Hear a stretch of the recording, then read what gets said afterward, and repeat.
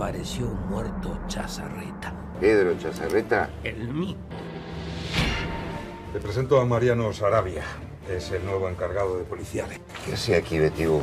Me convocó Rinaldi para escribir sobre el caso Chazarreta. Eh, ¿Cómo estar dentro de una novela tuya? eh? Cualquiera decía. No. Este caso va a ser impactante. ¿Los reconoce? Las furias. Eran unos sádicos con imaginación. En realidad estamos tratando de encontrar algo que los una a todos ahora en el presente. ¿Pero usted me está cagando? La foto original desapareció de la casa de Chazarreta. Salvo Collazo, están todos muertos.